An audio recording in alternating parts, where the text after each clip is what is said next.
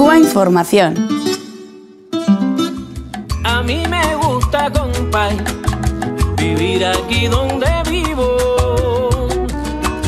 Sé que de todo no hay y me quejo a veces, caray. Hoy nos visita Tobias Kriller, es un realizador alemán muy vinculado a Cuba. Eh, pasó sus estudios universitarios en La Habana, donde se doctoró, y vamos a conversar hoy con Tobías, bienvenido, Tobías, eh, sobre varios de los documentales, de los trabajos audiovisuales que ha realizado en Cuba y sobre Cuba. En especial vamos a hablar sobre el último de sus trabajos, que se titula El poder de los débiles, centrado en la vida de Jorgito, Jorgito, cuyo nombre es Jorge Enrique Jerez Belisario, un joven de Camagüey, que bueno, a pesar de tener una enfermedad, una discapacidad importante, pues se ha convertido en los últimos años en un verdadero activista social y político en Cuba y yo diría que es uno de los rostros emblemáticos de este movimiento de solidaridad por los cinco, por los cinco héroes cubanos que estuvieron 16 años presos en Estados Unidos, hoy felizmente libres. Bueno, pues bienvenido Tobías a Cuba Información, que es tu casa. Muchas gracias. Bueno, háblanos un poco de el poder de los débiles, por qué haces este documental y, bueno, explícanos un poco qué es, quién es Jorgito también y qué has tratado de reflejar en este trabajo. Sí, bueno, primero, primero muchas gracias por haberme invitado aquí. Es un honor poder estar aquí porque yo realmente admiro el trabajo que están haciendo y realmente eh, es muy importante que haya personas y colectivos como ustedes que se dedican a ese tipo de trabajo. Eh, en el caso mío, como tú dijiste, que, como tú bien dijiste, yo hice, pasé mi carrera universitaria en Cuba. Yo siempre digo que yo fui en el 2003 como carpintero a Cuba y regresé en el 2013 como doctor en, ciencia filosófica, ¿no? O sea, eh, yo sufrí, se puede decir, cierta metamorfosis en ese proceso. Y em, aprendí muchas cosas en Cuba y, solamente una parte tiene que ver con la filosofía, eh, con la academia. Eh, aprendí mucho sobre los, procesos sociales e históricos eh, que se están realizando en Cuba constantemente. Y em, yo cuando ya vi que iba a volver a mi país natal, a Alemania, para trabajar eh, y vivir en Alemania, me surgió la pregunta, la cuestión, ¿cómo puedo llevar algunas de esas impresiones de las vivencias que pude hacer en Cuba eh, a Alemania? Porque me di cuenta que así era muy difícil explicar qué realmente fue lo que viví allá. Eso es mi motivación personal eh, fue mi motivación personal de hacer, empezar a hacer documentales. Bueno, yo hice dos, el segundo es El poder de los débiles. Eh, en el caso de ese documental, eh, conocer a Jojito en, plena, en pleno desarrollo, vamos a decir, y tomar la decisión de hacer un documental sobre él fue casi lo mismo. O sea, para mí, al conocer a Jojito, me di cuenta que eso es una historia increíble, imposible en otras partes del mundo y que eso vale la pena llevarlo, o sea, grabarlo en un documental. Eh, le pregunté y él enseguida me dijo que sí. Después hay una pequeña, eh, o sea, siguió un pequeño debate porque él quería que el documental tratara más sobre el tema de los cinco, los cinco héroes presos eh, en aquel entonces, como felizmente podemos decir ahora, en, Estados Unidos. Entonces él quería, Jojito quería que la, película fuera prácticamente un documental sobre los cinco y yo quería que fuera un documental sobre la, la vida de Jojito. Entonces al final hice un, ese documental de esa forma, tal como es hoy. Y, al, y bueno, lo pudimos terminar en la presentación de la película en el 2 de octubre en la ciudad natal de Jojito, Camagüey. Dije que eh, yo eh, temo que a lo mejor Jojito puede estar bravo conmigo porque la película trata realmente solamente un 37%, es una cifra fictiva, pero bueno, un 37% de la vida de Jojito, de, de, los cinco, y un 63% eh, de la vida de Jojito. Pero, con, pero bueno, de todas formas yo entiendo que eso tiene que ser así, para que funcione, ¿no? Y Jojito, después de ver la película, eh, porque él la vio por primera vez en la, misma premier, después se levanta y dice, Tobías, tengo que contar de siete, porque realmente es una película que trata 100%, un 100% del tema de los cinco, porque realmente el tema de los cinco es el tema de Cuba, de su revolución y del proyecto social que estamos construyendo aquí.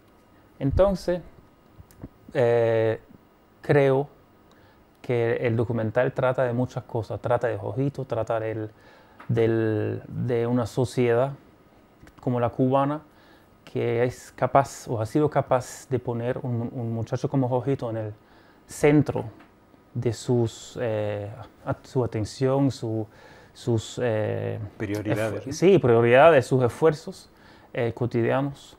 Em, es un documental que trata del tema de los cinco, que trata de la solidaridad, que trata de muchas cosas y yo creo que el conjunto de todas esas cosas se, o sea, se puede entender que es la revolución cubana.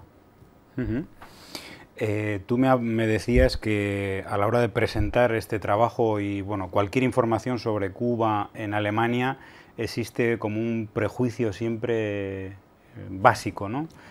incluso como una especie de rechazo inicial a cualquier cosa que sea positiva o que rompa el molde, digamos, demonizado sobre Cuba, ¿no?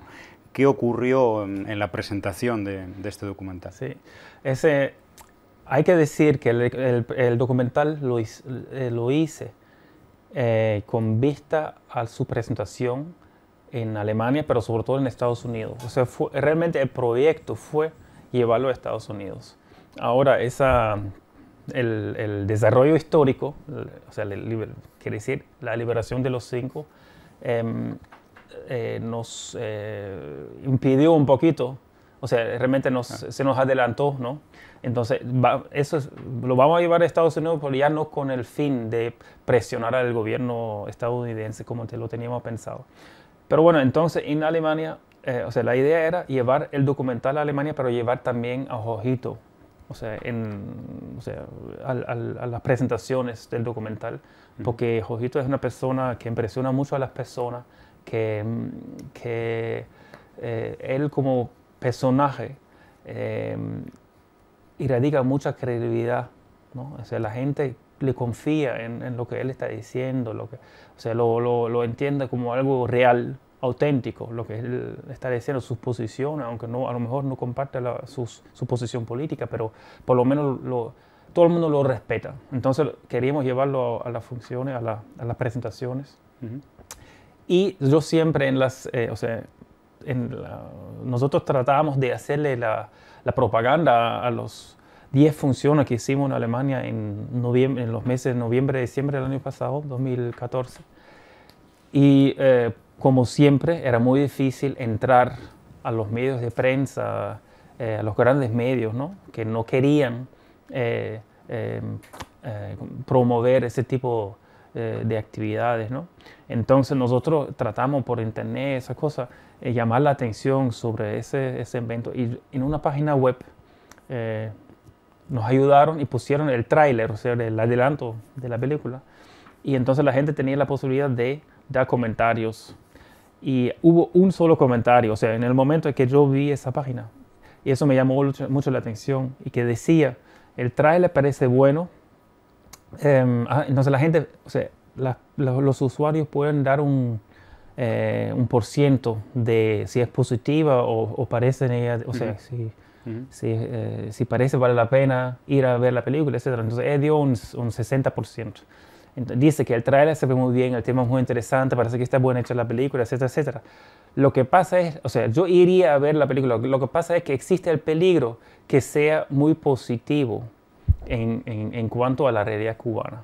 Y yo, eso fue algo que me llamó mucho la atención. Eso precisamente es lo que yo llamo que la gente se cierra, ¿no? que hay muchos eh, prejuicios en cuanto a Cuba, que la gente no trata el tema de Cuba como otros temas. Porque si fuera una película sobre Guatemala, la gente no, eh, no temaba, no, no, temaría eso, de que fuera una, una, o diera una idea positiva de Guatemala. Porque puede, dar una, o puede ser cualquier país, pero yo pongo Guatemala como ejemplo. En el caso de Cuba es diferente. Uno prefiere no ir a ver la película sí existe el peligro de que puedes dar una idea positiva de Cuba. Entonces, tuvimos que luchar contra eso, pero creo que lo, logramos algo en las 10 actividades. Hubo buena asistencia y sobre todo asistencia de personas que nunca en la vida habían escuchado ni sobre el tema de los cinco y algunos ni sabían nada de la, de la realidad cubana. Entonces se desarrolló un intercambio muy interesante entre las personas que asistieron y sobre todo Jojito en esa actividad. En este documental también se refleja, bueno, yo diría que el caso de Jorgito también es un, es un ejemplo de lo que es la sociedad cubana, ¿no? Eh, incluso Jorgito es una persona que es, eh, bueno, atendida eh, en pleno periodo especial, es decir, su desarrollo eh, la atención que se le da por parte del Estado, por parte de las instituciones, etcétera, es en pleno periodo especial, es decir, con unas carencias económicas terribles en Cuba. Eh, eh, podríamos decir que el, tema de la inclusión social en Cuba es distinto al de otros países, incluso al de países tan desarrollados como Alemania.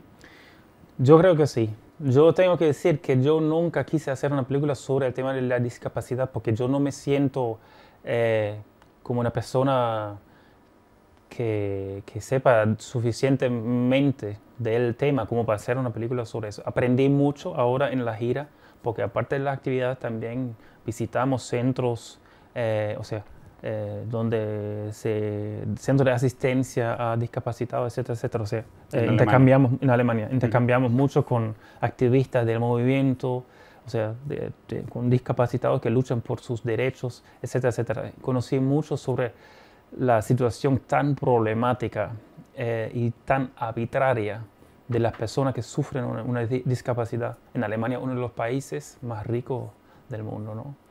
Entonces, el tema de la inclusión en Alemania es el tema, un, tema que causa grandes debates en ese, momento. Eh, pero yo creo que, que sí, que en Cuba la inclusión se realizó o se está realizando. Lo que pasa es que la inclusión es otra cosa, el concepto de inclusión es, otro, es otra cosa en Cuba. ¿Por qué digo eso? Porque aquí el tema de la inclusión se refiere solamente a la situación de un discapacitado o de los discapacitados con el resto de la sociedad en, la, en sus, o sea, en, la escuela, en, el, en, los ciclos infantiles, etcétera, etcétera. Pero en Cuba la visión es mucho más amplia. O sea, la inclusión se refiere a la inclusión a la vida social, pero en el, sentido más amplio de la palabra. En el caso de Jojito, la mejor inclusión, o sea, Jojito ha logrado la inclusión social por ser un activista importantísimo en las luchas sociales, o sea, de la, de la, sociedad cubana en, la actualidad, sobre todo en la lucha por la liberación de los cinco. Cuba, eh, eh, Jojito prácticamente se olvidó de su discapacidad, porque él no tenía posibilidades de dedicarle mucha atención a su discapacidad porque quería lograr otras cosas. Entonces la discapacidad para él es algo eh, eh, que puede impedirle algunas cosas, o sea, no, no impide nada, pero puede ponerle trabas, como, ¿no? como se dice. Pero entonces eso es, tiene su relevancia para él, porque él piensa, bueno, ¿cómo puedo superar esto para lograr lo que quiero? Entonces siempre, él siempre piensa así. Y entonces, y el más, o sea, yo diría que es una inclusión, o más que una inclusión, es una eliminación de la discapacidad en Cuba. O sea, porque realmente donde aquí se buscan eh, eh, soluciones para problemas, en Cuba desaparecen los problemas. Por supuesto, eso yo no quiero, o sea, una persona que está en una silla de rueda tiene un problema y es un problema cómo moverse, etcétera, etcétera. Yo no me refiero a eso, yo me refiero a la posición de las personas en la sociedad. Y creo que el humanismo de la Revolución Cubana se expresa eh, entre, entre, otros, o sea, entre otros mm, sectores en la cuestión de cómo se trata la discapacidad en Cuba. Eh, Tobías, has realizado también otro interesantísimo documental, Azúcar y Sal, previamente al, Poder de los Débiles, eh, bueno, a través de, varios personajes, mujeres, que de alguna manera simbolizarían esa revolución cubana hecha en, desde abajo, ¿no? O sea, personas que no son ni los grandes personajes de la historia, ni las heroínas de la revolución, pero que han hecho la revolución y la siguen haciendo, bueno, en sus vidas cotidianas. Sí. Bueno, realmente fue el primer documental que hice, que surgió de la mismo, del mismo motivo que acabo de explicar de que yo quería llevar algo de, mis eh, vivencias, incluso personales, eh, al, bueno, en primer lugar mi familia, mis amigos, pero al pueblo alemán, que yo nunca pensaba que se iba a poner tanto eh, este documental. El primero se puso en 12 países, se, puso en Alemania más de 100 veces, etc. O sea, yo nunca me imaginaba eso. Bueno, entonces el, la idea del documental era Em, reflejar la vida cotidiana de las personas, eh, en ese caso de las mujeres eh, cubanas, para em, de esa manera recontar un poco la historia eh, cotidiana de la mujer en la Revolución Cubana. Con todos los problemas, o sea, eso, o sea, en ese caso escogí cuatro mujeres que, son, que se hicieron amigas en el, en el inicio de la revolución estando ellas en la Sierra Maestra como maestras voluntarias.